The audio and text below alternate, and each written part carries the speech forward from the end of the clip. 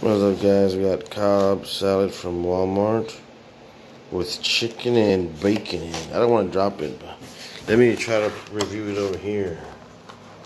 And then I'll just eat it separately.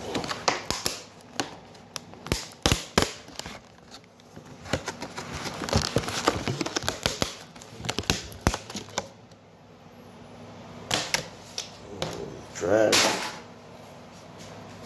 I don't want these tomatoes.